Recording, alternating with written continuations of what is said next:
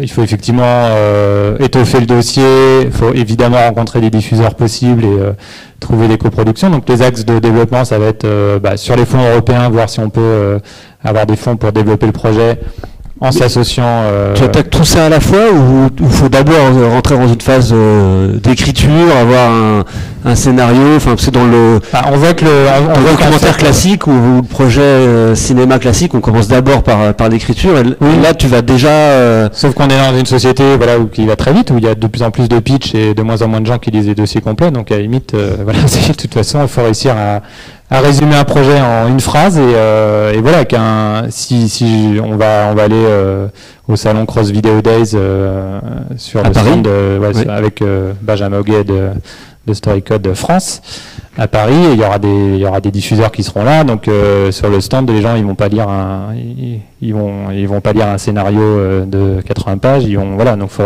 réussir à pitcher le concept. Après voilà faut faut faire les choses mais voir voir quel peut être l'intérêt à l'intérêt là-dessus et, euh, et voilà et après c'est vraiment du c'est vraiment la qualité d'écriture ça va être aller chercher un justement un showrunner ou des des, des écrivains euh, d'anticipation des scénaristes d'anticipation ou alors soit les gens qui ont travaillé sur euh, Real Humans ou autres hein, pourquoi pas mais voilà c'est s'associer comme on l'a fait sur le compte de l'histoire c'était il y avait on a vraiment travaillé par, euh, par phase, par niveau, euh, en, ayant les premières idées, en travaillant sur les premiers scénarios, en ayant des premières aides qui permettent d'avancer, etc. Donc on est un peu obligé d'aller comme ça. Donc soit on a une euh, voilà, soit on a une boîte qui a les moyens de, de payer beaucoup de développement. ce qui est intéressant, c'est le côté empirique où on peut dire, on peut tester un concept, voir si ça fonctionne, si ça plaît aux gens, est-ce que voilà, et s'associer s'associer vraiment à d'autres personnes assez, assez rapidement. Quoi. Donc c'est ce, que, c'est ce que vous allez faire à Paris là, le 19-20 juin Donc 19 et 20 juin, pendant les, Cross Video Days qui sont un grand euh, salon où il y a plein de porteurs de projets qui viennent rencontrer des, des, diffuseurs potentiels. Bah, il y a voilà, il y a des diffuseurs, euh, donc c'est ça peut être l'occasion et de toute façon euh, voilà c'est intéressant. Dans la société, on veut vraiment, voilà, on a fait les comptes d'histoire, on a d'autres projets qui sont comme les comptes d'histoire, c'est-à-dire qui sont vraiment géolocalisés sur un, un, territoire qui est très précis qui est une manière de faire les projets qui, est, qui peut être viable économiquement, mais qui s'adresse du coup à une, audience qui est géolocalisée, euh, voilà, qui est un endroit. Là, on est sur une, des audiences beaucoup plus larges, donc il faut qu'on aille voir aussi euh, du coup des, des, diffuseurs nationaux qui nous et européens qui nous connaissent pas. Euh, ne connaissent pas encore. Je vais euh, prendre les questions, s'il y a des questions, des, commentaires, des suggestions. Moi, j'en ai quand même envie de profiter de ta présence pour en poser une. Il y a peut-être des gens ici qui ont des projets transmédia, leur premier projet. Toi, tu as déjà l'expérience des comptes de l'estuaire. Si tu avais un conseil à donner, euh, que retour d'expérience vraiment de leçons tirées de, du montage des comptes de l'estuaire, ce serait quoi? Euh, bah Après, voilà, les, au moment où on a développé le compte de l'histoire, l'organisation des différents, voilà, justement des, des, aides qui existaient, euh, on parlait pas de transmédia à l'époque, même si on a l'impression que c'est très vif, ça fait, c'était il y a trois ans, mais quand même ça a beaucoup évolué, donc je pense que c'est un peu plus facile euh, potentiellement maintenant. Euh, après, il faut surtout avoir une bonne histoire et avoir envie de, avoir envie de bien la raconter et puis bien s'entourer euh, justement de, différentes personnes et ne pas, euh, voilà, pas être obsédé par la technologie et pas commencer. Enfin là, on, de la technologie, mais c'est la technologie imaginaire, mais ne voilà, pas, pas, pas commencer par se dire euh, je vais faire quelque chose sur un mobile ou je vais faire quelque chose sur le web, mais plutôt euh, quelle histoire je vais raconter et, comment je vais la raconter. Et après, euh, ça sera se centrer sur l'histoire et ouvrir toutes les pistes. Bah, voilà, c'est, c'est, on s'en fiche de savoir si c'est après si c'est une bonne histoire, est-ce que c'est voilà, est-ce que c'est raconté en série, est-ce que c'est raconté en film, est-ce que c'est raconté sur le web ou autre. voilà, enfin peu importe, mais faut surtout que est-ce qu'il y a des questions pour, euh, pour Jérôme? Oui Ou donne de la... Oui, oui.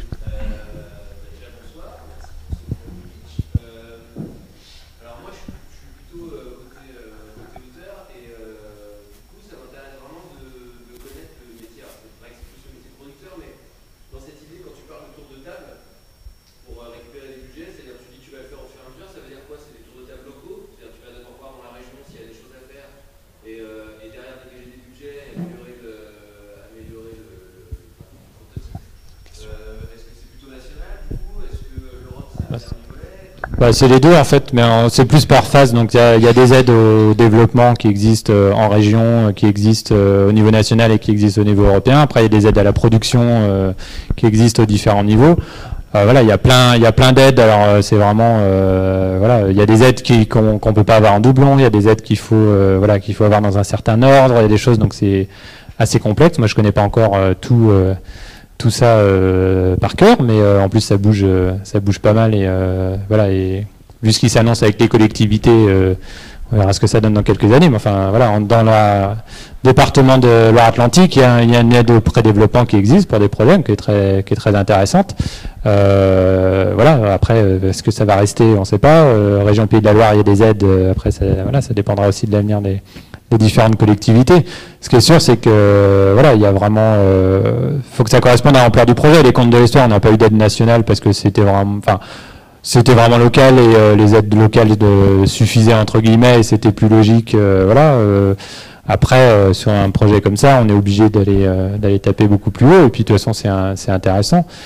Mais tout est voilà, tout est lié. Euh, faut un, faut un des premiers intérêts de diffuseur avant de voilà, avant d'aller aussi chercher certaines aides. Il y a des aides qui se débloquent que quand on a un diffuseur. Après, voilà, ça dépend ou des partenaires des partenariats, mais euh, voilà, l'intérêt sur des projets transmédia, on l'a vu avec les comptes de l'histoire, c'est qu'à ça, on peut débloquer des fonds qui sont sur euh, de la culture, on peut développer aussi des fonds qui sont sur euh, l'innovation. Et voilà, et sur la culture, il y a, y, a, y a, pas trop de sous et ça va pas avoir tendance à augmenter. Sur tout ce qui est innovation, etc. Et, et nous, on s'est battu pour dire que l'innovation de contenu était autant valable que l'innovation technologique, et ben bon, là il y a là il y a potentiellement des fonds des partenariats à faire, donc euh, on peut euh, on peut sortir des cases. Comme j'ai pas fait d'école de production, etc., et que je connais pas effectivement, euh, je commence à connaître, mais je connais pas parfaitement les cases. Du coup, c'est un inconvénient d'un côté, et en même temps c'est un avantage parce que je j'ai pas d'a priori, je peux me dire ah, bah ok je vais je vais prendre des sous ici, je vais en prendre, je vais en demander là, ou voilà, c'est c'est possible. Oui. Bah là, quand on va donc en France, euh, donc Real Human, c'est euh, Arte, euh, c'est diffusé par Arte, donc c'est clairement possible. Et Black Mirror, c'est France 4, qui est, qui, est, tout à fait intéressant aussi. Donc, a priori, ça serait plutôt ça. ça peut être, ça peut être Canal+, mais à la limite, ils sont sur des séries un peu plus ambitieuses, ils sont moins sur des séries d'anticipation. donc là, en termes de ligne éditoriale, pour l'instant, ça correspond tout à fait soit à Arte, soit à France 4. Donc donc à voir, euh, voilà, si on arrive à avoir des rendez-vous. Euh, mais c'est des gens qui sont. Euh, Jean-Teddy Philippe qui avait travaillé sur les sur les comptes de l'histoire l'année dernière et qui a, qui a fait les documents interdits pour ceux qui connaissent, un, projet qui était exceptionnel justement, mais fin des années 80, début 90 sur sur voilà des nouveaux sur le bien avant le projet Blair sur le fait d'avoir trouvé des documents un peu mystérieux, etc. Donc il a il a un projet de troisième saison, il l'a proposé à Arte, mais euh, il, il, leur a proposé ça en disant bon, on peut faire en plus du transmédia. Il se passe un, il y a un événement bizarre dans un village, on va créer le site web du, de la ville en parallèle et mettre des événements, et, etc. Et la réponse d'Arte, c'était euh, on va quand même pas faire un site web à chaque projet, quoi. Donc c'est pas dire que le transmédia, il est pas, c'est pas encore, euh, même si les chaînes sont prêtes, c'est pas forcément c'est il y a encore un peu de boulot quoi. C'est voilà. C'est est-ce qu'on est-ce qu'on considère que le que l'aspect transmédia est un c'est juste de la com ou c'est juste un alors soit c'est de la com c'est très bien. Du coup c'est du marketing donc ça fait c'est le budget marketing donc c'est bien. Si ça fait partie de l'histoire euh, bah ouais mais bon euh, après est-ce que c'est est-ce que c'est vraiment euh, un complément est-ce que c'est vraiment intéressant? Mais il faut vraiment prouver que que c'est intéressant quoi. il y a d'autres remarques suggestions? Plutôt, ça peut être anglais. Après, euh, Real Human, c'est en, en, suédois hein, et ça s'exporte euh, quand même très bien. Donc ça peut tout à fait être en français, mais euh, après c'est un côté plus exotique d'avoir un truc en, suédois sous-titré en français. Faut le faire en suédois, je pense. Hein. Et on peut le faire. non, mais après ça peut tout à fait dire les, le ou les pays de tournage, ça peut tout, à, peut tout, à, fait avoir une partie du tournage qui se fait justement en, on en revient aux aides. Hein. S'il y a une partie du tournage qui est au Danemark, euh, une autre en France et une autre en Espagne, bah, c'est-à-dire qu'on peut avoir des aides. Euh, en Espagne, il n'y a, plus trop de sous, euh, y a plus trop de subventions, mais, mais voilà, on peut avoir des aides des différents pays. Il y avait une question là.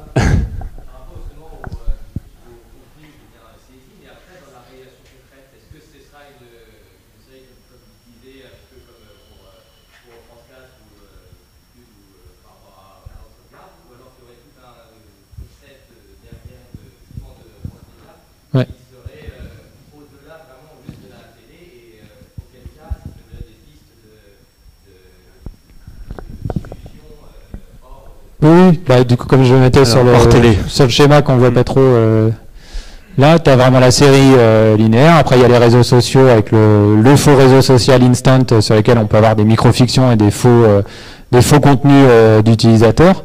Et puis, euh, voilà, in real life, euh, tout, dans la vraie vie, créer vraiment des débats, etc. Et euh, voilà, dans la série, il mais j'ai bah, pas été très loin, mais il y aura un personnage de journaliste, euh, donc qui peut avoir un blog et qui peut lui-même, voilà, raconter, récupérer des témoignages d'utilisateurs, faire des montages, voilà, diffuser des documents. On a, voilà, on a potentiellement beaucoup de beaucoup de contenu. Enfin, t'imagines toutes les utilisations possibles, euh, toutes les micro-fictions en disant, bah voilà, il y a une, personne qui, euh, qui, a failli se faire agresser, qui grâce à ça n'a pas été agressée, un autre qui fait de la pornographie, un autre euh, qui qui fait voilà, qui fait le film, sa mère vient de mourir, il fait le, il récupère les images, il fait le film de la vie, voilà. Il y a, enfin, c'est infini quoi. Donc, on peut vraiment toutes ces, tous ces contenus-là, on peut les raconter. Alors après, faut se, faut se limiter par le budget et autres, mais mais ça peut aussi être participatif en disant aux gens, bah, faites, voilà, faites comme si vous aviez une lentille instant et euh, filmez des, filmez des, des contenus et postez-les. Euh. Jusqu'au lancement du produit instant et voilà, l'idée c'est même un fake. Le, le, ouais, le démarrage, des, ce que j'ai dit au début, c'est de voilà, on peut vraiment toute la première partie, c'est euh, de dire on fait un on fait un faux lancement de produit. vraiment, on dit pas que c'est de la que c'est c'est de la fiction quoi.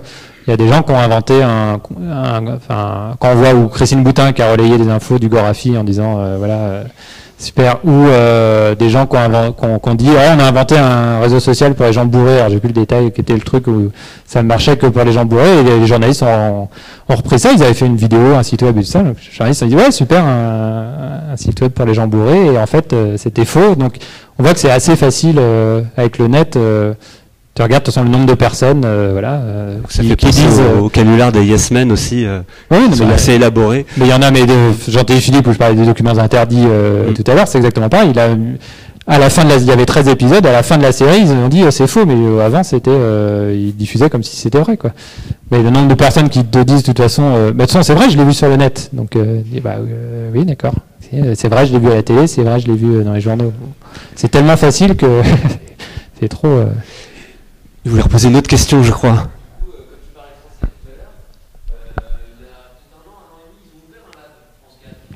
Web 4.0, euh, euh, ouais. Studio 4.0, ouais.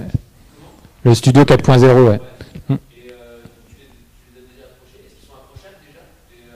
Bah, c'est approchable. Là, ils, lancent un, ils viennent de lancer un appel à projet sur euh, les robots, enfin, ou les objets connectés, etc. De dire, bah, voilà, de charger des scénaristes ou des projets sur euh, qu'est-ce que ça, voilà, qu'est-ce que ça implique euh, d'avoir euh, tout d'un coup des nouvelles technologies, de robots à son service, etc., et d'inventer des histoires là-dessus.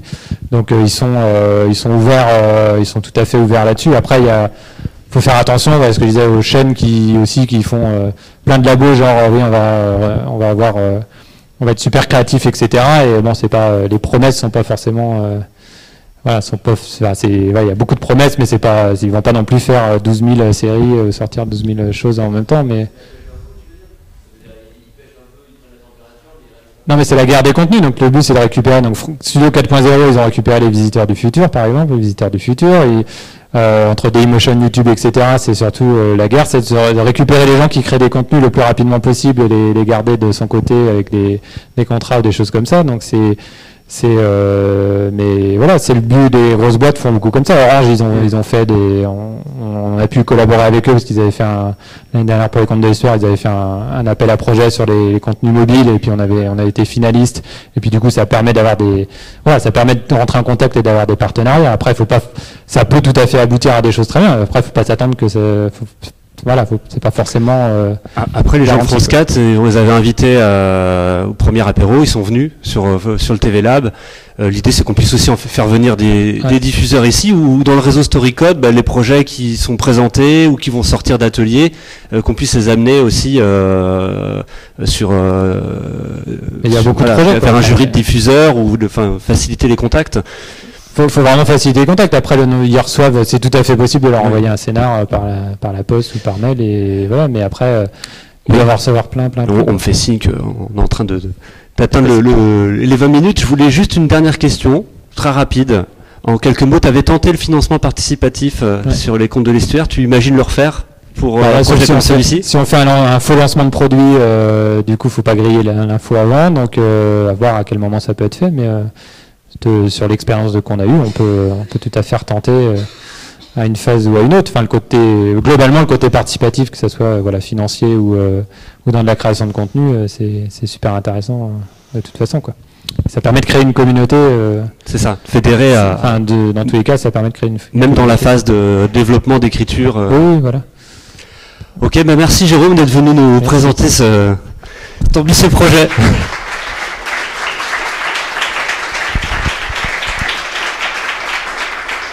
Eh oui, on va continuer avec, avec Marc. Euh, ouais, Marc Boury, j'en profite, j'ai oublié de vous le dire, euh, euh, pour ceux qui veulent tweeter ou qui ne peuvent pas s'empêcher de tweeter, euh, il y a un hashtag, c'est Story Code, euh, voilà, avec un E, un E à la fin. C'est le hashtag qui est utilisé par toute la communauté, donc ça permet aussi aux, aux gens qui suivent, euh, qui sont dans les réseaux Story Code dans d'autres villes, de, de voir un peu ce qui se passe euh, dans le Grand Ouest, et en particulier à Nantes ce soir. Donc Marc, tu viens nous présenter ton premier projet transmédia on peut dire ça. Euh, je te laisserai te présenter en quelques mots. Euh, donc là, c'est un, un projet que tu as imaginé sur, euh, l'histoire de Nantes, projet d'immersion interactif euh, dans les rues de Nantes, euh, sur l'histoire de Nantes qui s'appelle Déambule à Nantes. Et voilà, je propose euh, j'ai- fait beaucoup de slides parce qu'en fait ça m'a permis aussi de, mieux appréhender le projet, bon, qui est encore vraiment euh, très émergent, euh, un peu comme euh, Jérôme, mais dans un autre style.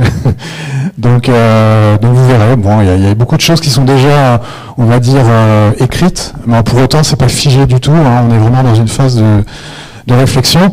Donc juste pour situer comme ça, j'avais fait un, un premier. Normalement ça marche. Ça aussi c'est une première parce que je n'utilise pas d'habitude. C'est un prési, Ouais, donc c'est dynamique. D'accord. ouais, normalement ça, ça défile. Donc, euh, en fait, c'est le fruit d'une rencontre. euh, donc, euh, bon, bah, moi, évidemment, euh, je me positionne un peu comme coordinateur du projet. L'idée, c'est euh, d'aller rencontrer Stéphane Pajot. Alors, va un peu vite. Euh, Stéphane Pajot, qui est, qui est un journaliste sur Monde que certains connaissent sans doute, qui a déjà pas mal œuvré dans euh, en éditant avec euh, les éditions d'Hermespier, donc euh, d'ailleurs dans l'éditeur et, dans la salle, Cyril Armange, un certain nombre de livres sur la l'histoire de Nantes. Euh, il en a fait, je crois, une dizaine à peu près, même peut-être plus.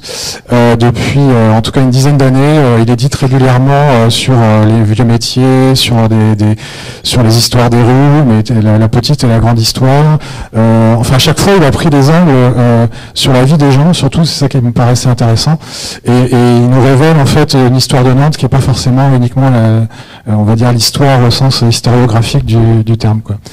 Donc, euh, avec Stéphane, on se connaissait depuis un petit moment, puisque euh, moi-même j'étais journaliste euh, pendant longtemps, euh, un petit peu sur Nantes, et donc euh, c'est la première rencontre qui m'a donné envie, parce que euh, moi-même, euh, étant euh, journaliste du coup euh, pendant de nombreuses années sur Paris et spécialisé sur les nouvelles technologies, entre autres euh, numériques, pas forcément le web, mais, mais en- en- entre autres le web, l'audiovisuel aussi. Donc ça, ça m'inspirait un peu ce que j'entendais de, de la part de Jérôme. Euh, Um, donc j'ai trouvé que c'était assez intéressant de creuser, euh, d'aller au-delà de, de- de ce qu'il avait pu faire en, format euh, papier. D'autant plus que dans le même temps, euh, j'ai croisé donc la, la route d'une société nantaise qui, qui porte bien son nom, qui s'appelle Naolat System, donc pour ceux qui ne sauraient pas, qui veut dire Nantes en breton, et, et- et donc qui fait de la gestion depuis quelques années déjà euh, d'archives euh, plutôt photo-texte pour des fonds d'archives, musées dans toute la France. Euh, ils sont une vingtaine, je crois, et, et ils sont euh, assez euh, dynamiques. Et surtout ils ont développé en fait tout un, on pourrait dire un, un- de la GED et puis un- aussi un- une solution de portail qui permet de valoriser les archives de manière très standardisée et ouverte, de sorte que ça m'a donné l'idée que si on s'appuyait sur leur technologie, bon même si ça reste une technologie web de type responsive pour pour pour ce qui est de la, la- partie design et ergonomie, on, on est quand même sur des choses qui sont faciles à interfacer avec euh, différentes sources d'archives. C'est vraiment ce, côté-là qui m'intéressait à, creuser. Et puis donc ensuite, euh, comme voilà, dans, au gré de mes rencontres, j'ai rencontré aussi une société qui est à Lannion, qui s'appelle Oxygène, qui travaille sur, enfin qui a, qui a, une solution déjà en SaaS que je vous enjoins à regarder d'ailleurs, qui est très intéressante parce que c'est peut-être une des plus abouties aujourd'hui de synthèse vocale. Et surtout, euh, du fait que ça travaille en SaaS, on peut vraiment interfacer ça avec du web euh, très facilement. D'ailleurs, ils ont une offre pour, euh, on va dire, oraliser les, sites web. Mais bon, là, l'idée, c'était de l'utiliser un petit peu différemment, leur, solution. Voilà, et puis donc d'autres partenaires, mais ça, on en parlera après. Donc le principe de base, euh, qui n'est pas figé du tout, on en a encore discuté euh, juste avant la réunion avec euh, l'éditeur, euh, c'est de partir de toute façon d'un ouvrage écrit. C'était vraiment d'essayer de creuser presque d'une manière expérimentale sur comment on peut arriver à partir de, alors peut-être un livre, on a pensé à Nantes Insolite parce que en fait c'est un livre qui a bien marché, il y a deux, qui a été édité il y a deux ans je crois, et, et qui a bien marché, mais, mais ça pourrait être aussi des collections plus thématiques, voire concret pour l'occasion, euh, des, plus petits livres qui seraient plus adaptés du coup à, ce qui est, euh, on va dire, un compagnon sous forme euh, de, de, site web et d'applications mobiles. Donc le principe de base c'est très simple, c'est que QR code parce que c'est connu, parce que tout le monde l'utilise plus ou moins. Donc là je suis parti sur 30 mots, donc en simulant en quelque sorte un scénario mobile, mais tout en sachant que dans un premier temps bon, euh, ça reste euh, du, web encapsulé euh, de manière responsive dans, pour, pour, la mobilité. Donc, et donc l'idée, c'est de partir sur des commentaires audio euh, d'utiliser ce que utilise Stéphane euh, depuis de nombreuses années, euh, c'est-à-dire des cartes postales anciennes, et de, jouer sur la correspondance entre cartes postales anciennes et, et vue réelle, donc avec des systèmes de, passage de, l'un à l'autre, ça c'est assez courant aujourd'hui sur le web, mais aussi de, de faire des sortes de petits diaporamas, d'ailleurs normalement il y a du son. Oui, d'accord. et de Cabornier. Aujourd'hui, l'activité portuaire a laissé place à la navigation de loisirs. Et donc ça, c'est la voie de synthèse. Hein. à 30 mous, au début du XXe siècle, on euh, pratiquait la pêche à la lose, un poisson osseux, plus grand que le hareng, et de la même famille. La lose remontait la Loire pour frayer.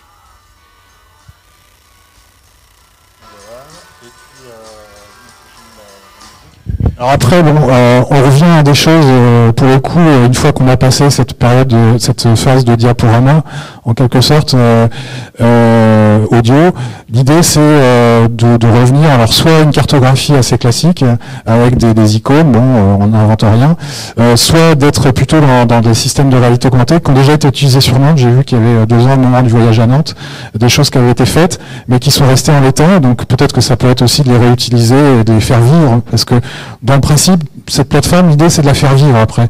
Parce qu'il y, a beaucoup de choses qui se font en termes de fonctionnalité, mais qui ne trouvent pas forcément après une éditorialisation dans le temps euh, euh, plus poussée, qui, vivent avec une communauté, avec euh, un, vrai traitement éditorial. Quoi. Et donc c'est un peu pour ça qu'avec Stéphane, on, on, veut se pousser les choses un peu plus loin. Donc L'idée, c'est vraiment d'être dans l'analogie, euh, enfin dans l'hyperlien constant, et de faire que la personne, une fois qu'elle est euh, localisée dans une rue, elle puisse avoir des accès en fait à différentes thématiques. Euh, ça, c'est la première approche à partir du bouquin. Une fois qu'on, pour donner en fait envie à ce que les gens voient qu'il y a une richesse de, de contenu potentiel sur cette plateforme. Ok. Donc là, on parlait du, des films de Jean-Louis Hubert, donc je passe vite là les inondations. Enfin, j'ai scénarisé en fait deux, trois thèmes comme ça. Euh, donc je, passe vite. Euh, ensuite, donc l'idée aussi à chaque fois, c'est toujours euh, c'est la même idée, mais différemment. Là, ça peut être d'aller voir un peu plus loin géographiquement et de pouvoir accéder aussi à des contenus toujours par analogie de, qui, sont en rapport avec des, faits très touristiques ou très très connus, mais où on essaie d'aller un peu au-delà en, en proposant aux gens du coup d'aller vers la balade parce que l'idée de base euh, c'est une fois qu'ils ont euh, goûté c'est qu'ils arrivent petit à petit vers des déambulations euh, où on leur propose de suivre un parcours pendant une heure ou deux enfin comme, ils le souhaiteront quoi donc voilà Alors, il y a aussi bon, le fait qu'on les sollicite bon, par des, notifications. Bon, ça, c'est pas, pas très nouveau. Et sous forme de quiz pour inciter aussi à la curiosité.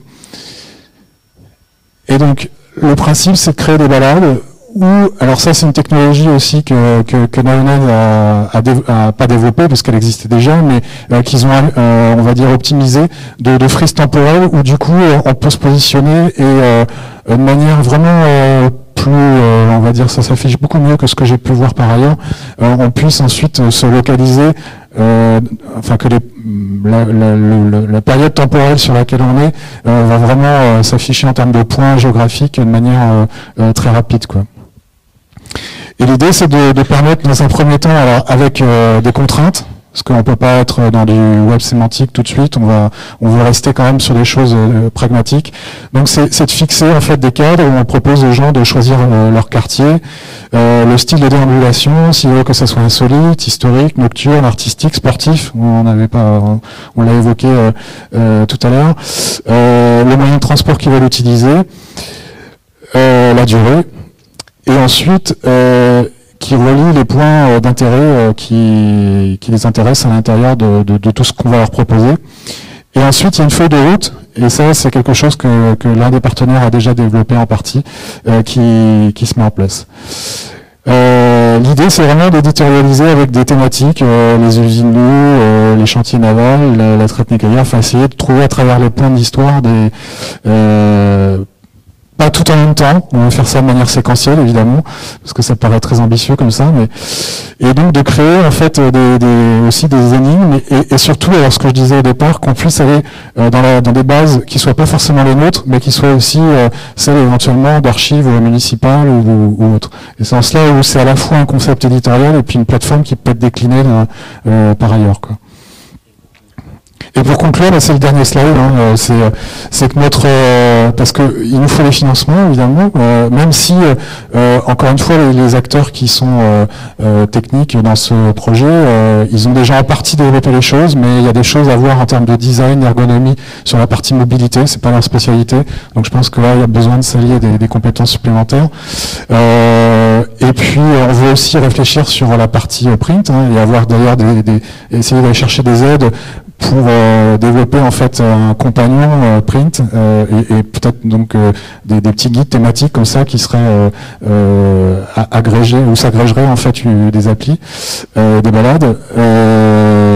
donc voilà, et puis de faire en sorte qu'il y ait une communauté qui se crée et que de ce fait-là, ça soit intéressant pour des acteurs privés ou publics de se dire on crée des balades sur cette plateforme, des déambulations euh, avec une, thématique et nous justement on essaye de, de, de, mettre ça en place. Euh, euh. Par mail, Google a fait un, joli coup avec les euh, comment ça, les promenades nocturnes. Donc ils ont, il y a une radio associative à Marseille qui s'appelle Radio Gribouille et une artiste qui avait proposé des balades sonores sur cette radio associative. Et eux sont allés vers cet artiste, ils lui ont proposé de monter euh, euh, des balades en immersion interactive avec bah, voilà tous les outils Google. quand tu as vu ça, tu t'es dit, j'espère que la fait Google va se pencher sur sur moi, ou alors tu, tu, tu... j'ai regardé comment ça fonctionnait. C'est très intéressant de manière pour une rue, on va dire, pour un quartier, euh, ça, ça, ça fonctionne bien. Euh, après, ça bénéficie vraiment d'une customisation de, de, Street View qui est, qui est, très poussée, où Google, donc effectivement, a dû faire aussi des, des, des efforts pour les aider.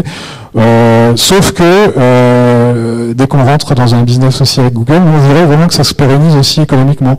Donc on, voudrait que les revenus, euh, liés à des prestations, ou même à, la vente d'espaces publicitaires, même limités, mais de type qu'on puisse justement choisir que ça reste dans une optique culturelle, dans une optique, on va dire qualitative, et qu'il n'y pas forcément des bannières AdSense, même si c'est pas le cas dans ce projet. Mais on peut imaginer qu'après, ça soit l'objet, l'objectif de Google. Là, on plus dans le laboratoire, dans ce qu'ils ont montré, Google, et c'est vrai que c'est très, très, très intéressant. Mais euh, c'est plus un objet artistique, moi je trouve, euh, en tant que tel. Là, c'est vraiment l'idée de faire une plateforme euh, sans aller aussi loin, on va dire, dans l'immersion.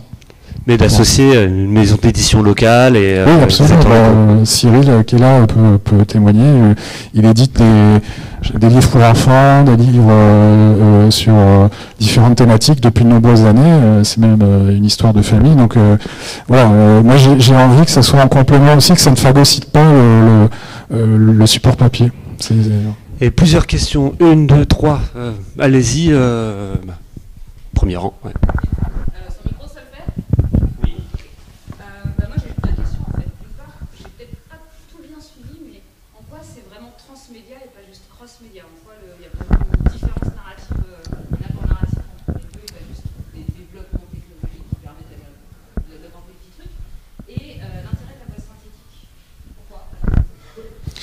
Euh, la voie synthétique, tout simplement parce que ça permet, euh, on, considère que ça va être euh, une petite économie dans un premier temps. On, est sur des petites audiences, donc on considère qu'on ne doit pas trouver des financements non plus qui permettent de, produire des, des voix off. On voudrait une certaine souplesse aussi, c'est-à-dire que bah, l'auteur, Stéphane, n'est pas toujours disponible. On ne peut pas forcément aller en studio. Enfin, on voudrait garder un peu cette souplesse. Après, euh, c'est vrai que ça, ça, ça va, ça n'est pas euh, un niveau de qualité qu'on pourrait obtenir évidemment avec un comédien. Hein, on est, on est bien d'accord. Mais euh, je dirais que ça, ça, ça moi, ça m'a surpris par la qualité, euh, notamment si on fait plusieurs passes. Enfin bon, c'est, on arrive à un résultat qui est, qui est intéressant. Et du coup, alors, comme c'est des fichiers euh, qui sont créés euh, automatiquement, on gagne un temps fou. On, on ils sont en XML, on peut les interfacer très facilement avec le, le web. Enfin, c'est quand même, pour le coup, par rapport à une optique qui est de créer un MP3, enfin, partir d'un, projet studio, etc., on est quand même dans, dans, dans, une autre on n'est pas dans le même type d'infrastructure. Et, euh, sur le transmédia. multi, pluri, cross, transmédia Ouais, je n'arrive pas toujours à comprendre la différence. Euh, traverser les médias, c'est le transmédia. Bon, là, on, traverse que deux médias, effectivement. Euh, mais, mais euh, après, je pense que l'essentiel, c'est que ça s'alimente les, deux médias, et, c'est l'essentiel des discussions qu'on a avec Cyril. C'est plutôt comment on va pas phagocyter un média plus qu'un autre, et c'est de trouver justement la meilleure solution pour être créatif à la fois sur le, sur le plan du, du, print et d'éditer peut-être un, des, des, des, petites des leaflets, enfin des choses très thématisées et qui sont en rapport avec les déambulations vraiment, et, où on apporte plus sur le web, mais on, on, on vampirise pas totalement le, le support papier. Donc euh, je sais pas si c'est du transmédia ou du crossmédia, j'ai pas de. Il y avait une question par là-bas?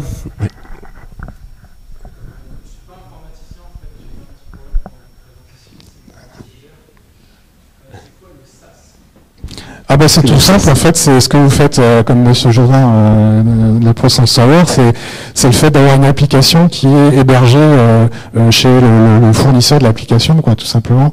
Donc on appelle ça aussi du cloud maintenant, enfin dans certains cas, mais voilà, c'est juste que vous consommez une application qui est hébergée par par l'éditeur, quoi, en fait. Donc là, en l'occurrence, Oxygène, ils ont un éditeur en ligne, on, met ces textes, c'est comme un éditeur euh, texte quasiment, euh, et après on rectifie les ponctuations euh, vocales, quoi, en fait, parce que c'est pas parfait du premier coup, ça, pour le coup.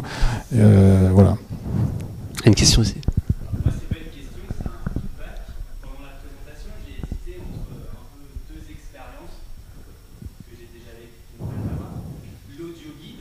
Mmh.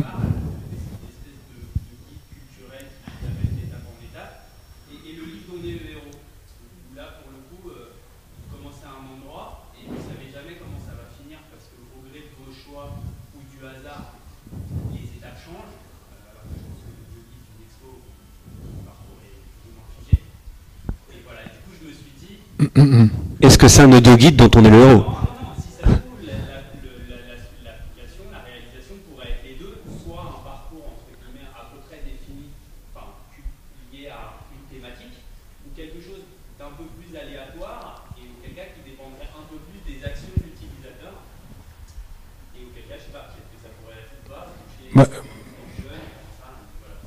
Non, bien sûr. Non, mais vous avez tout à fait raison. Une très bonne question. Euh, euh, effectivement, moi, je serais plutôt du, aller vers euh, l'histoire dont vous êtes le héros et de pas savoir vraiment justement où on va atterrir à, la, in fine, quoi. Qu'on aille par analogie justement d'un contenu à l'autre, mais tout en restant quand même dans une thématique ou du moins euh, dans, un, dans les, par rapport à ces centres d'intérêt qu'on arrive à, à, à serrer un minimum ce vers quoi on va quoi. Et mais pour ça il faut justement qu'on arrive à, à à, maîtriser dans un premier temps nos, déambulations. Euh, on peut pas non plus euh, partir dans toutes les directions d'emblée. Donc c'est pour ça qu'il faut qu'on définisse peut-être 4-5 grands thèmes comme ça, mais à l'intérieur qu'on laisse une liberté aux gens, effectivement. Pour ça, il faut qu'on arrive, et c'est pour ça que je m'appuyer sur une société qui a déjà la gestion du web sémantique dans, dans ses cartons, euh, c'est pouvoir s'appuyer sur un corpus comme ça de, de mots-clés, d'indexation, qui font que bah, pour un thème donné, on peut avoir plusieurs possibilités, effectivement. Et qu'on définira le parcours une fois qu'on aura euh, vu ces possibilités euh, euh, d'aller voir tel ou tel monument, tel ou tel architecte ou tel ou tel peintre, je sais pas, enfin si on parle de, de, de, culture, mais ou par rapport à, d'autres thématiques plus sur la nature, quoi, par exemple. Enfin,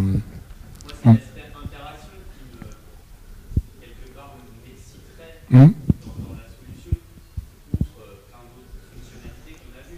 pas, de, de, faire, de chercher dans plein de, de sources d'informations pour voir bah, de, de, je sais pas, de quel monument, quelle statue on dans la ville,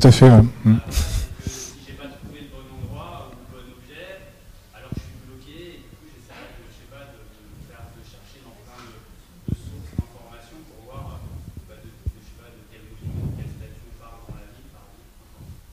Mm. Ben, c'est là où justement, euh, alors je sais pas si on peut faire un aller-retour, après il faut pas que ça soit factice, mais on pouvait se dire que pour trouver certaines solutions à certaines énigmes, il faille, euh, par exemple, replonger dans, un bouquin, quoi. Enfin, essayer de donc d'inciter aussi les gens par là à, pas délaisser le livre, quoi. Enfin, il y a eu un peu cette, idée. Mais après, euh, bon, on veut pas non plus rester dans le euh, effectivement, c'est de rester dans quelque chose de léger, tout en cultivant les gens. Donc c'est toute l'ambiguïté, mais aussi le, défi. Et puis, ben, merci. Je pense qu'il y a plein d'autres questions, mais euh, de toute façon après on mettra les, contacts hein, si vous voulez euh, poursuivre les échanges avec les uns et les autres. On va continuer donc avec le troisième. on est à peu près dans les temps, ça, ça va pour le, pour le timing? On a commencé un quart d'heure en retard, donc moi je suis dans les temps, mais après... Euh, donc troisième projet, donc c'est avec Julie. Et oui déjà. Donc Julie, euh, donc tu as un support? Euh, Oui, mais pas d'ordinateur. Mais pas d'ordinateur. Quelqu'un peut, prêter son, Est-ce que son ordinateur? possible ou pas? Ou celui-ci, oui, ça doit être possible. Tu peux peut-être te présenter et présenter euh, Deep et par la même occasion en attendant que. Alors bonjour, je m'appelle Julie, je travaille pour l'association Deep, qui veut dire des idées plein la prod. C'est une association audiovisuelle nantaise qui existe depuis 2004. Donc voilà, on est quatre salariés, une centaine de bénévoles et euh, on édite la web télé, le vlip.fr, où nos bénévoles produisent des vidéos sur différents thèmes et euh, les postent, donc en ligne. Aujourd'hui, on va vous présenter un projet euh, qui est ce qu'on appelle une création collective. En fait, notre, euh, notre association a deux rédactions, donc une rédaction plutôt à Gare Maritime dans nos locaux et une rédaction euh, à Nantes-Nord, sur le quartier Nantes-Nord, à la Mano. cette, deuxième rédaction se termine tous les ans par, depuis trois ans en fait, c'est la troisième année, se termine par ce qu'on appelle une création collective. Une création collective, c'est l'envie bah, d'innover, de créer des nouveaux projets, des nouvelles formes de narration audiovisuelle et des nouvelles formes de diffusion. Donc là, c'est la troisième année. La première année, ce qui avait été fait et que vous avez peut-être vu, c'est le voyage à Nantes Nord, qui était une euh, grosse boîte, une installation en fait, où on pouvait se balader euh, dans le hum, dans le quartier et découvrir des endroits du quartier vus par les habitants. Les habitants, pardon. Donc vous rentriez dans la boîte, c'était un système euh, de capteur d'Arduino qui détectait en fait euh, la présence et après vous tiriez sur des je sais pas comment dire sur des choses pour pouvoir déclencher et euh, choisir votre vidéo sur la carte. Donc ça a été montré dans le cadre du festival Spot et Archiculture. La deuxième année et donc en fait c'était pensé vraiment pour être une expérience réelle. On rentrait dans la boîte, on allait voir les vidéos. C'était quelque chose de d'immersif réellement. Aujourd'hui, il existe toujours euh, sur, le, sur le web, en fait, sous forme de web documentaire. vous pouvez toujours le voir. Et euh, l'année dernière, donc 2013, euh, le projet qui a été lancé, c'était un web documentaire qui s'appelait Ceci n'est pas à vendre. Et c'était un peu un tour du quartier au travers du regard d'habitants qui parlait d'eux. qui parlait d'eux à travers un objet. Hein, je me suis un peu mal exprimée. En gros, on rencontrait des habitants du quartier qui parlaient d'eux à travers un objet qu'ils aimaient. Donc par exemple, il y a une petite grand-mère qui parle d'elle par rapport euh, à travers son chat, la relation qu'elle a à son chat. Bon, c'est pas un objet, elle, le dit elle-même, mais ça marche. Euh, il y a un jeune homme qui parle de lui à travers une prière que lui a donnée sa mère. Ouais, il y a plusieurs portraits comme ça. Cette année. On est sur le bon support? Ouais, c'est bon. Cool. Cette année, on s'est décidé de se relancer dans un web documentaire, mais sous une nouvelle forme, pas sous la forme euh, seulement, euh, on va dire, accessible, enfin, pas pensé directement pour l'ordinateur. Notre projet s'appelle, c'est un titre provisoire pour l'instant, Murmure, et il part en fait euh, d'un autre projet de création aussi collective. Sur Nantes Nord, il y a l'association Pickup Production et euh, Sans Pression, donc euh, association culture urbaine, enfin culture euh, hip-hop et puis graffiti, qui ont monté un projet qui s'appelle Attrape-moi si tu peux, si tu veux, pardon, je, à chaque fois je fais l'amalgame avec le film, Attrape-moi si tu veux, qui est donc un parcours dans le quartier au travers de six murs et l'idée c'est d'emmener les habitants de ce quartier à se rencontrer et à peindre six murs dans le quartier. Donc ça va du campus jusqu'à bout des Landes, euh, voilà, par là. en fait, chaîne des Anglais plutôt. Donc on a décidé, nous, de s'appuyer euh, sur ce projet. C'était l'occasion de travailler avec des gens euh, qu'on connaissait un peu, voilà, de pouvoir faire croiser les projets et de rendre compte de ce projet en vidéo. On ne voulait pas parler graffiti seulement et on a décidé de prendre l'envers du projet. Et donc, je ne sais plus où ça, c'était voilà, les interfaces deux. Excusez-moi, on est un peu. Et donc, euh, on a les six murs qui sont ici, à partir d'ici, voilà, que vous pouvez voir. Et on a décidé de ne pas parler directement euh, des graffitis sur les murs, mais de retourner un peu l'affaire et de se dire bon bah les murs, qu'est-ce qu'ils voient sur le quartier, qu'est-ce qu'ils entendent à l'occasion aussi bah, de, bah, de, cette rencontre en fait qui est créée entre les habitants? Et donc les vidéos vont rendre compte de euh, ce que voient les vues murs et de ce qui se passe sur le quartier. comment comment est-ce que euh, on perçoit un lieu? Ces murs, ils existent. Donc voilà, ça c'est notre, on va dire, euh, si on part un peu transmédia, c'est notre première interface réelle. Ils existent et sur les, murs, il va y avoir une petite plaque où il va y avoir un petit texte explicatif. Bon bah voilà, ça a été fait dans tel dans tel contexte et avec un QR code. Donc ce QR code, on pourra le flasher et euh, par exemple, je me balade, je découvre le premier mur euh, ici, je flash, je vais tomber directement sur une interface qui va me donner la vidéo du mur, euh, celui-ci il est vert par exemple, du mur vert. Donc qu'est-ce que ce mur vert voit du campus, qu'est-ce qu'il en dit, qu'est-ce que les gens qui passent devant lui disent, et c'est ça l'idée. Et ensuite, mur par mur, on peut avoir différents regards sur le quartier. L'idée c'est qu'à la fin du premier mur, on soit incité à aller voir euh, les murs suivants par une euh, petite carte qui va nous indiquer le mur le plus proche. Donc je commence là, on va me dire après avec euh, a priori cette carte-là, qui a été faite par Pickup. Hop, hop, hop, vous prenez le tram, vous vous arrêtez à Rector Schmidt, c'est là qu'est le prochain mur. Voilà, après on peut directement accéder aussi aux vidéos. Et ça, normalement, ça vient après. Voilà. Donc par exemple, Rector Schmidt, voilà, on a pris notre petite carte, on est descendu, on a flashé, et voilà ce qu'on a trouvé. Donc on arrive sur l'interface avec le nom du web documentaire, elle est en travail, mais euh, pour l'instant, voilà, c'est en tout cas la forme qu'elle a. On a le titre de notre vidéo, donc celle-là, elle s'appelle Carrefour de nos rencontres, puisque Rector Schmidt, c'est vrai que c'est un lieu de passage. Euh, on peut accéder euh, aux vidéos ici par une frise où il y a tous les murs, les six murs représentés dans l'ordre. Et puis, bon, on peut les partager, bien sûr, Facebook, Twitter. on aura un environnement sonore qu'on pourra couper ou non, un petit texte explicatif, voilà. Et donc là, on passe sur la frise, on peut se balader sur les, sur les murs.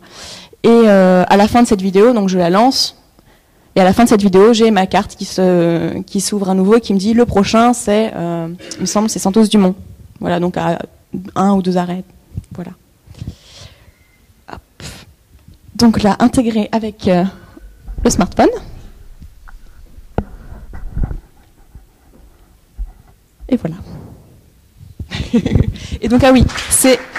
C'est un projet qui est porté euh, par des bénévoles. Donc c'est du temps bénévole, c'est des gens qui viennent quand ils peuvent. On a défini des temps et, euh, voilà, ça c'est très important parce que c'est pas un projet, on va dire, euh, qu'on cherche à vendre ou qui est économique à la base. C'est surtout de l'envie des gens, de l'enthousiasme et de la curiosité. Et voilà, c'est chouette.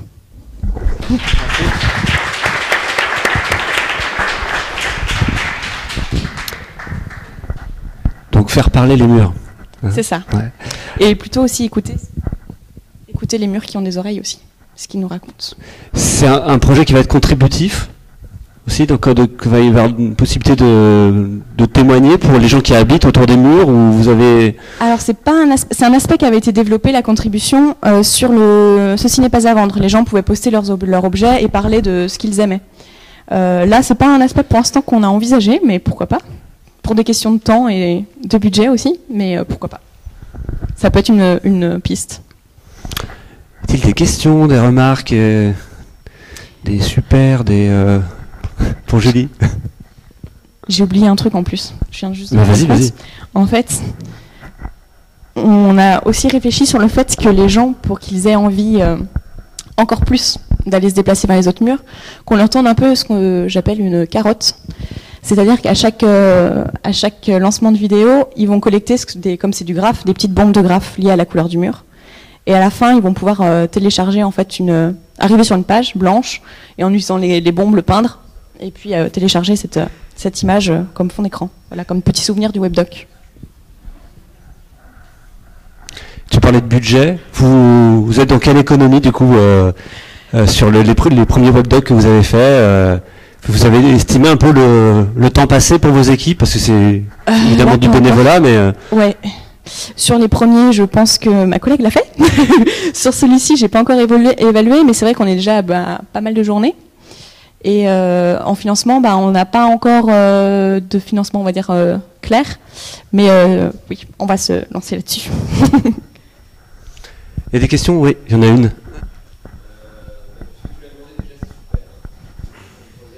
Merci. Non, alors sur ce projet, il y a une dizaine de bénévoles qui est mobilisée. C'est qui a participé aux ateliers à Nantes-Nord, en fait, principalement. Les centaines de bénévoles, c'est sur les deux rédacs, en règle générale. Enfin, voilà.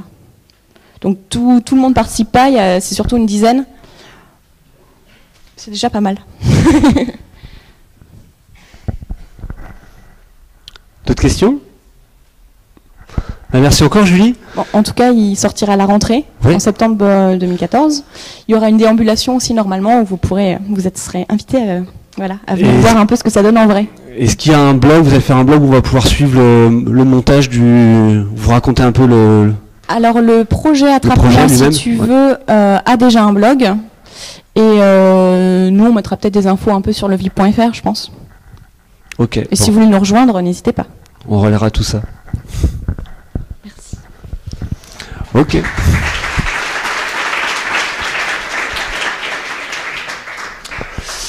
Alors du coup, hop là, je marche sur le fil. On va, on va terminer avec, euh, toi, Bastien. Je vais te laisser euh, t'installer. Donc, euh, Bastien Kerspern, tu es designer. Es un ancien élève, on le dit à chaque fois parce qu'on a l'école de design euh, à Nantes et, et hein, c'est, ben oui, mais c'est- voilà. Donc, euh, mais il y a un petit moment comme que tu es, sorti de l'école et un petit moment aussi que tu explores euh, le, le design interactif, le- les interfaces, euh, de réfléchir à des contenus euh, euh, sur lesquels les utilisateurs peuvent interagir. Et notamment, tu t'intéresses aux news games, aux serious games, les, jeux sérieux, les, jeux autour de l'info. Tu reviens d'ailleurs d'un hackathon la semaine dernière, tu étais à Cologne, où il y avait un premier hackathon européen dédié aux news games, où tu as pu travailler avec des développeurs et également des journalistes qui venaient du Guardian, de la BBC aussi. Euh, et puis tu as déjà travaillé euh, sur un news game sur Notre-Dame-des-Landes, euh, qui sera bientôt visible. Euh, voilà, donc il y en a un, un aussi sur les gaz de schiste, hein, donc souvent des, des sujets euh, liés à l'écologie, c'est peut-être pas tout à fait hasard. Euh, mais euh, voilà, au-delà du, du news game, tu vas nous, nous parler un peu de, des matrices et, et des, plateformes hein, qui, enfin, au-delà des histoires, quoi, qui permettent de jouer avec, avec l'info. Voilà, je te laisse la parole. Merci Julien, tu viens de pitcher à ma place, donc voilà, c'est terminé. Euh, bonjour à tous. Donc je vais vous parler de quelque chose qui est un projet de projet qui est fait d'autres projets. Donc euh, ne vous attendez pas de l'hyper concret ou autre. C'est encore à l'état de, réflexion, mais il y a des, gros morceaux de concret dedans quand même. Euh, je vais parler donc du coup de la, la fabrique de News Game. Tu as un peu vendu la mèche, j'en veux un peu. Euh, Pardon. Et on va commencer par essayer de voir un peu qu'est-ce qu'est un, un news game, euh, cette forme un peu, un peu bizarre de jeu vidéo qui est assez récente. Et un news game, en fait, c'est un jeu basé sur l'actualité. C'est un jeu qui va vous proposer de jouer l'actualité. Euh, et ça a des formes très très variées. hein. Ça va du jeu super bien fini en 3D jusqu'au petit quiz euh, mal mis en page euh, sur vos quotidiens préférés. Euh, on retrouve aussi des jeux euh, avec des sujets lourds. Endgame Syria, par exemple, c'est un news game sur la, guerre en Syrie qui a été produit par, euh, des journalistes et des game designers euh, anglais et qui vous propose d'explorer un peu justement toutes ces façons de la guerre euh, en Syrie. C'est très utile ce genre de jeu pour comprendre en fait les mécanismes qui se cachent derrière les faits d'actualité. C'est le cas avec euh, Cutthroat Capitalism, qui est un news game sur la piraterie en Somalie, où vous jouez un pirate et vous devez capturer des bateaux et vous devez négocier les rançons ensuite euh, des otages que vous avez capturés. Donc vous apprenez quels sont les mécanismes de la piraterie en Somalie en jouant à un jeu qui dure 5 minutes. Ce qu'aurait du mal à faire un, article en tant que tel. Donc c'est aussi l'idée d'augmenter un peu le contenu euh, rédactionnel classique qu'on peut avoir par une expérience immersive et une expérience euh, interactive. Et c'est également un excellent moyen pour créer de l'engagement, euh, notamment auprès de, des lecteurs euh, de médias. Euh, Il y a un, petit groupe qui s'appelle Us versus Them en Angleterre, qui crée des news games à l'appel. Alors ils sont pas forcément toujours de très bonne qualité, mais ils font euh, 7 millions de vues par mois. Donc c'est un moyen de créer de l'engagement aussi auprès, de, auprès des lecteurs. De quoi, si demain vous vouliez vous lancer pour créer un news game, de quoi vous auriez besoin? Vous avez besoin de voilà, d'une super équipe déjà, pour commencer. Euh, c'est vraiment obligatoire. Et si vous n'avez pas euh, un gros black avec des chaînes, vous aurez au moins besoin de ce minimum syndical-là pour, pour produire votre jeu. Vous avez besoin d'un game designer qui va vous permettre de créer des règles. Et les règles, c'est extrêmement important, il n'y a pas de jeu sans règles.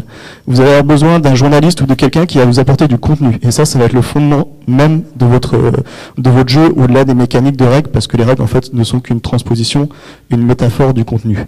Vous avez besoin d'avoir quelqu'un qui va vous faire des, des interfaces et éventuellement du graphisme, et quelqu'un qui va mettre euh, un peu de magie là-dedans, un programmeur euh, qui va pas dormir pendant plusieurs nuits pour vous produire votre jeu. C'est le minimum syndical euh, dont vous allez avoir besoin pour produire un jeu. Donc si vous voulez produire un jeu et vous n'avez pas ça, bah, la réponse est non. Vous n'allez pas pouvoir produire un jeu. Et on a eu un peu le même problème avec le data journalisme, euh, qui est en plein essor aujourd'hui, où on avait des journalistes qui voulaient faire euh, de la data, mais qui n'avaient pas de compétences techniques, qui n'avaient pas forcément de compétences graphiques. Et euh, on a eu des sortes d'outils qui sont apparus pour aider ces journalistes justement à produire rapidement euh, leur contenu interactif basé sur la data. C'est le cas d'infogramme euh, que peut-être certains d'entre vous ont utilisé et qui est assez facile à prendre en main et qui vous permet de faire des, des visualisations de données très rapidement sans pour autant avoir toutes les compétences nécessaires. Alors la question c'est est-ce qu'on pourrait avoir la même chose pour news game Parce que news game c'est pareil, j'ai besoin de compétences en graphisme, j'ai besoin de compétences euh, en code, euh, en game design, etc. Est-ce qu'il y a moyen que euh, un jour je puisse dépasser le besoin de recruter une équipe? Et la réponse est oui. On va parler un peu de, matrice. Alors la matrice c'est en fait un moule. C'est bête, mais c'est un moule, euh, un peu un moule à gâteau. Vous allez mettre tous vos ingrédients, votre, euh, vos règles, euh, votre contenu, éventuellement vos contenus images si vous avez besoin de graphisme. Vous allez touiller tout ça et ça vous permettre de faire un jeu. Donc nous, on réfléchit à comment on peut faire des moules pour les news games.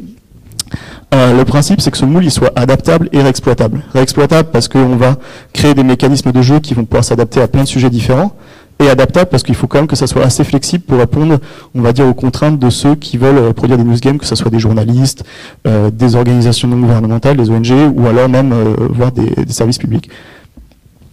Euh, pour parler un peu de ce qu'est une, une matrice et prendre des exemples un peu plus concrets euh, que ces, ces grands principes, je vais vous parler de, de deux news games sur lesquels euh, j'ai travaillé, euh, NDM News Game et Shame.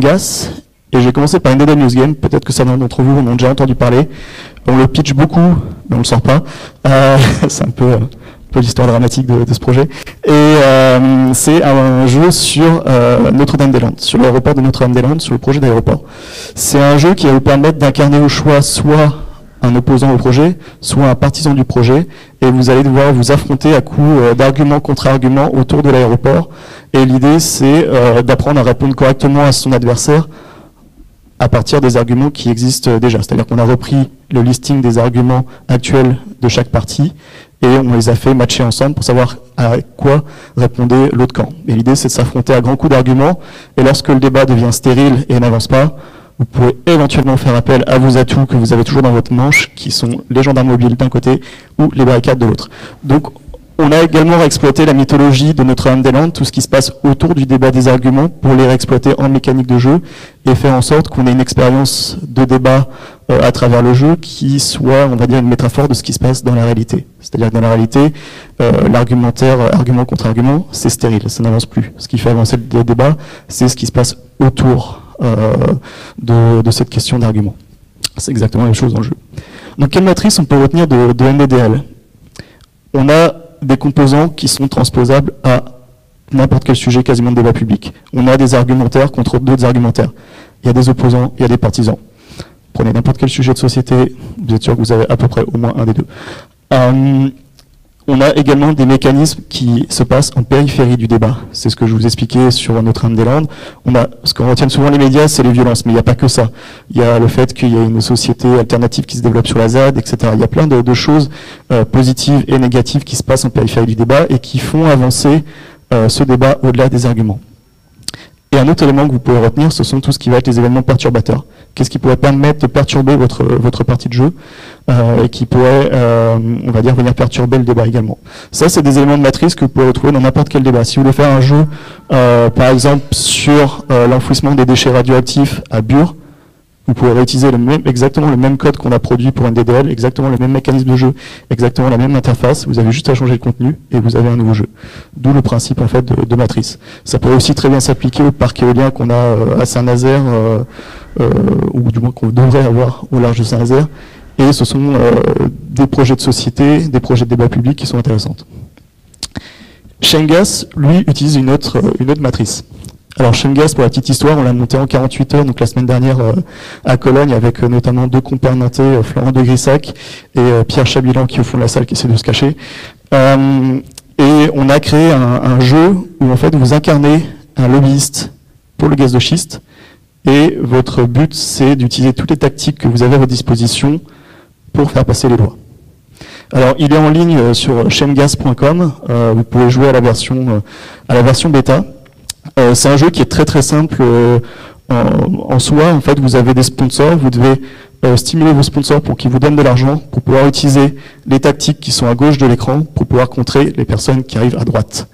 Donc vous allez avoir des journalistes, des experts, euh, des activistes pacifistes, des activistes moins pacifistes, qui vont venir essayer de, entre guillemets, euh, saboter tout, votre travail d'installation, euh, de fracking, etc.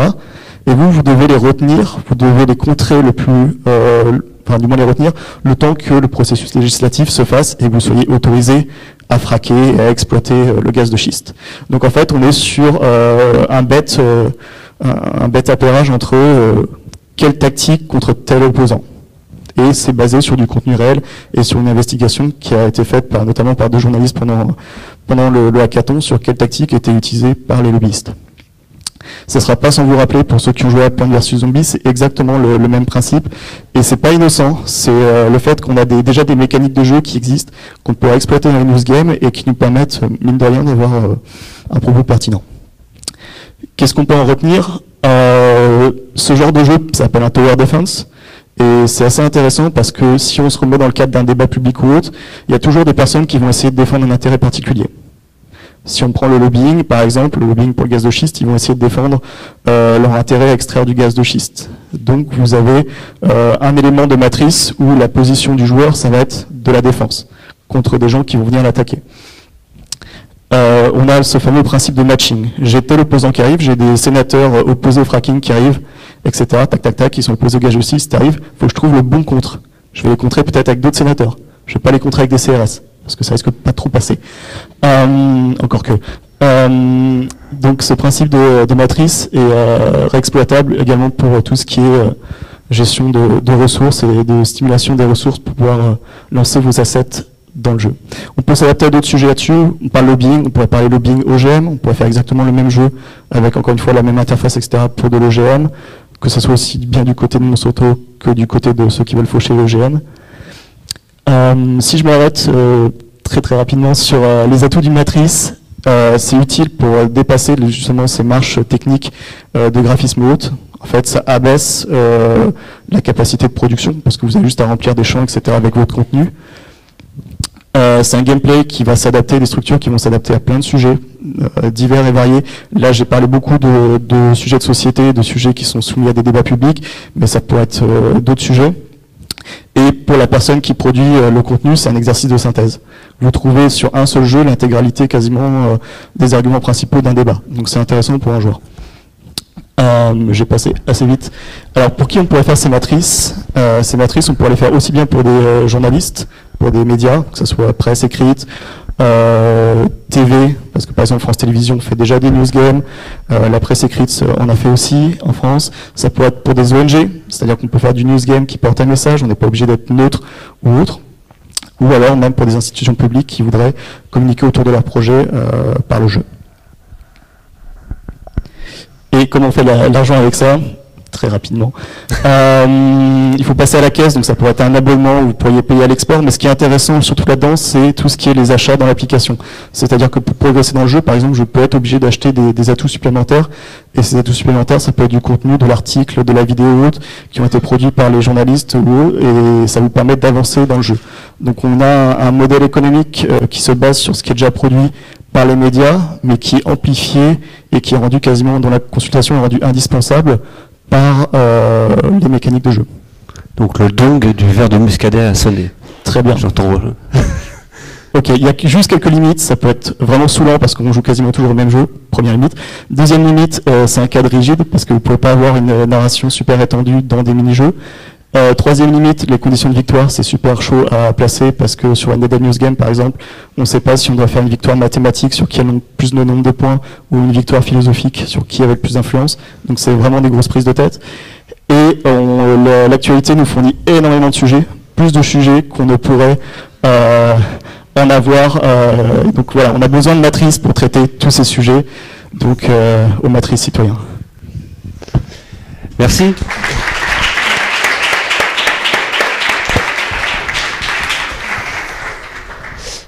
Faut être un gamer pour, euh, pour faire du news game, faut aimer le jeu vidéo, faut, faut avoir l'habitude de jouer pour euh, en imaginer. Non. Euh, J'ai non parce que les, les principales personnes aujourd'hui qui font news game euh, sont des journalistes. C'est-à-dire que ce sont des journalistes qui ont arrêté de faire des jeux vraiment du journalisme, on va dire rédactionnel, pour faire aller sur des écritures interactives ou autres. Et c'est eux qui aujourd'hui portent le news game. Donc on n'est pas sur des gens qui ont des compétences en game design ou en jeu à la base. Euh, on peut, euh, alors je dirais qu'il ne faut pas détester le jeu quand même parce que sinon ça risque d'être euh, un peu compliqué, mais on n'est pas obligé d'avoir des études ou avoir une carrière dans le jeu pour faire du news game. Et pourquoi les, journalistes se lancent là-dedans? Parce qu'ils trouvaient leurs articles ennuyeux? Oui, il y a les contraintes d'écriture. après, il y a un intérêt stratégique aussi qui est un intérêt de différenciation comment je fais euh, du contenu qui sera lu, euh, ce qui sera vraiment lu, ou du moins où les gens s'arrêteront dessus, parce que ouais, on passe 6 minutes sur un jeu, 6 minutes, je peux mettre autant de pubs que je veux, et euh, c'est pas la même chose qu'un article qui est survolé en 20 ou 30 secondes. Quoi. Il y a des questions pour, pour Bastien? Ouais. T'es qui? Tu fais quoi?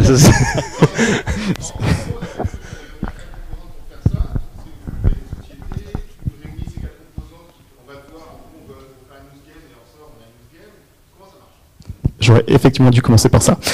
Euh, moi, je suis euh, designer. sur ces projets-là, je bosse sur l'interface et sur game design, donc tout ce qui est les règles et comment on joue au jeu. Euh, pour la petite histoire, on est en train de monter donc avec les deux compères de Nantes avec qui on était parti à Cologne pour monter ces jeux. On va monter une structure pour faire du news game, du news game interne sur des sujets qui nous intéressent à nous et du news game aussi en prestation pour des gens qui auraient besoin d'un contenu euh, en tant que tel. Donc l'idée c'est que ça a commencé entre guillemets comme une passion, du moins un intérêt euh, pour ce que peut être le jeu euh, dans le débat public et au fur et à mesure ça se structure et pourquoi pas devenir du coup une offre et notamment avec cette idée de, de matrice.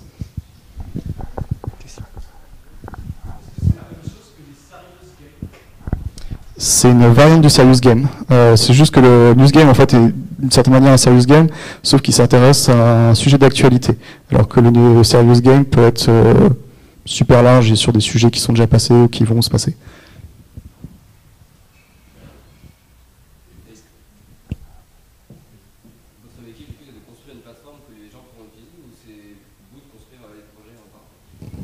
Euh, bah justement, on s'est rendu compte en construisant les projets que, mine de rien, on pouvait les exploiter pour d'autres trucs. Et euh, l'idée, c'est de construire une plateforme pour que des gens, par exemple, je pense notamment aux journalistes, qui construisent un gros dossier. Alors, si je reprends notre Land, ils ont construit un gros dossier sur notre Land, et qui soient capables de générer un jeu à moindre coût pour aller avec ce dossier. Ils réutilisent le contenu de leur dossier, donc c'est pas obligé de travailler deux fois. Ils le passent juste dans le filtre du jeu.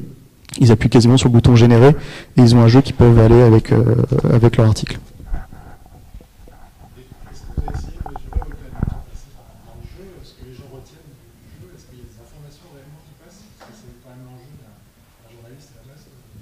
Comment on évalue l'impact du newsgame sur l'utilisateur Sur ce qui retient de l'info Je dirais que ça dépend vraiment de, de, la personnalité du joueur. Il y a deux grandes catégories de joueurs. Il y a le joueur-joueur. Lui, il va pas s'intéresser à savoir pourquoi tel type, par exemple dans Shengas, il va pas s'intéresser à savoir pourquoi tel type euh, de tactique d'un lobbyiste va être utile contre tel type d'opposant. Lui, tout ce qu'il voit, c'est que ces deux trucs-là, ça permet de faire des points. Très bien. C'est une manière de jouer et c'est jouer pour jouer. Après, il y a d'autres euh, joueurs euh, qui vont passer plus de temps, qui vont essayer de comprendre pourquoi, oui, euh, cette technique marche et qui peut-être après euh, vont avoir encore plus faim et vont aller sur d'autres médias pour apprendre plus. C'est les deux gros comportements qu'il y a dedans. et ça, je dirais que c'est quasiment inhérent à la personnalité du joueur et pas tant à la, personnalité du jeu en tant que tel. Il y a beaucoup de news games qui sont des news games narratifs, donc qui demandent une immersion, qui demandent à passer une demi-heure devant, à lire beaucoup de textes. Euh, c'est une forme de news game, c'est peut-être pas la forme la plus accessible. Si on regarde Gas ou NDTL, on a bouclé une partie en 5 minutes et on a au moins appris euh, deux trois trucs, ne serait-ce que par les écrans intermédiaires qu'on est obligé de lire avant de passer à la suite. Quoi. Une dernière question peut-être?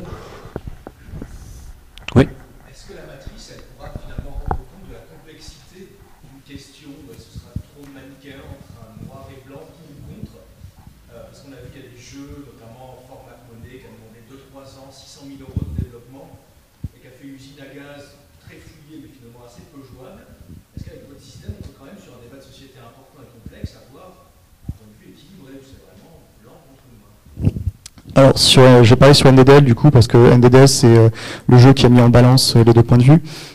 NDDL, on a pris une entrée qui était extrêmement manichéenne pour forcer le joueur de mitiger sa position.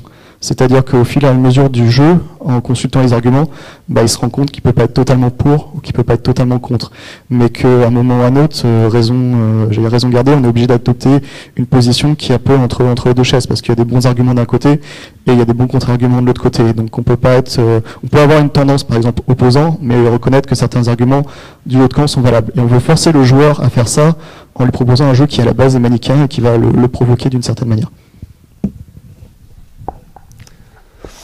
Voilà, ben, merci encore.